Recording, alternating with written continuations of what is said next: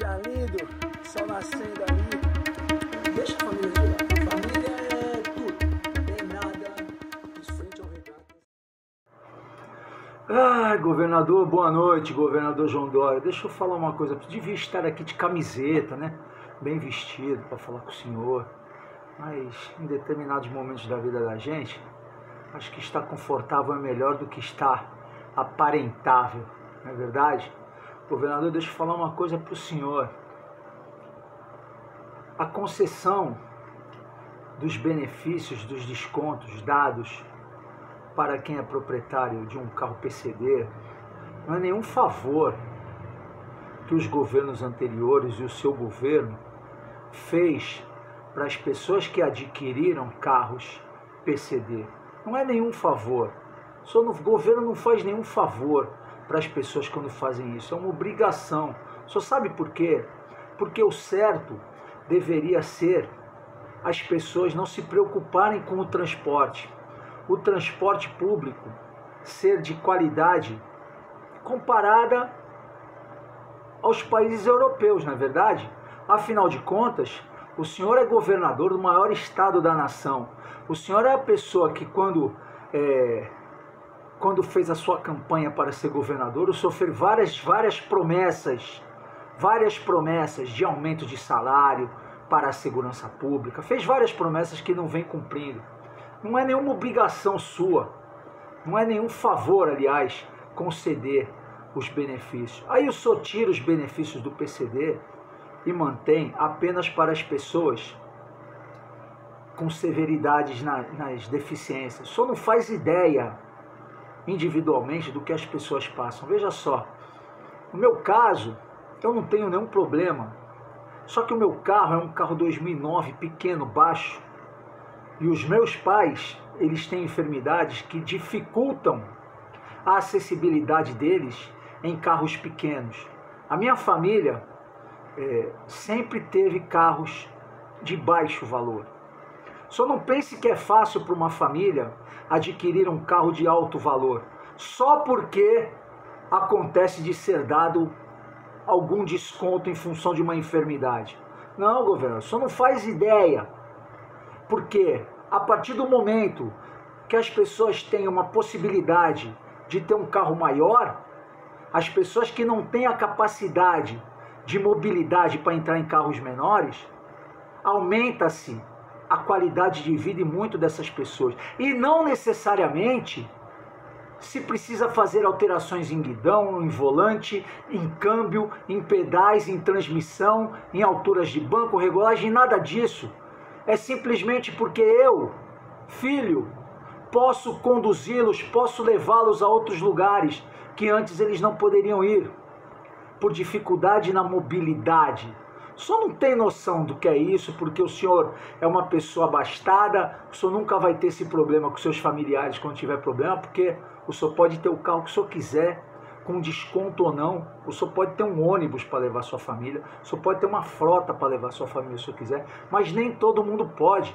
O senhor não pensa que, é que as pessoas compram um carro de 80, 90 mil reais porque elas querem, não só porque eu tive um desconto de 20 mil, eu vou comprar um carro de 100 mil. O senhor não tem noção do quanto é difícil para as pessoas disporem desse dinheiro na conta para comprar um carro desse valor, apenas porque o governo do estado concedeu alguns benefícios para aqueles que têm alguma necessidade especial de, de, de mobilidade.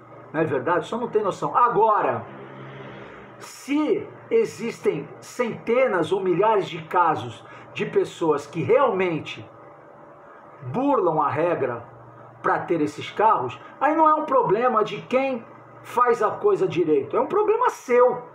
É um problema das suas secretarias de investigar o Detran, de investigar as corrupções em todos os órgãos públicos que permitem esse tipo de coisa. Um problema é seu. Então, é, é só um desabafo aqui para mostrar para o senhor que nem sempre um carro sem adaptação é um carro que deva perder os descontos porque as pessoas não precisam do desconto. Só não tem noção, só não faz noção do que é isso, só não tem noção. Né? O senhor simplesmente, como, como o senhor não é um, o senhor não é um estadista, o senhor nunca foi e nunca será um estadista. O senhor é um capitalista selvagem, né? O senhor não tem noção é, de humanidade. O senhor não faz. O senhor, nem, o senhor nem tirou as pessoas do crack das ruas. O senhor prometeu queria tirar as pessoas do crack da rua. Nem isso o senhor fez. O senhor não tem noção de humanidade. O senhor não tem noção. O quanto as pessoas podem aumentar a sua qualidade de vida tendo um carro melhor que possibilite pôr as pessoas com algum tipo de hum, dificuldade de diminuição de mobilidade para melhorar o transporte delas e a qualidade de vida delas. Para ir a um médico, para ir a um hospital, porque eu só não penso que uma pessoa de 70, 80 anos, do, o, o, governador, ela vai ter um carro melhor para viajar o Brasil, para atravessar a América até o, o, continente americano, até os Estados Unidos, para passear diariamente. Não! Esse carro é para lhe servir quando alguma coisa, quando é necessário ir ao supermercado, ir a uma feira, ir a um médico, melhorar a qualidade de vida naquilo que lhes resta de tempo de vida. O senhor não faz noção do que é isso. O senhor não tem coração. O senhor é uma pessoa que enxerga números. O senhor não enxerga coração de ninguém. O senhor é uma pessoa que vê em doenças, o senhor é uma pessoa que vê em enfermidade, enfermidades, o senhor é uma pessoa que vê em problemas uma oportunidade de politizar as coisas e melhorar, melhorar o seu grau de popularidade.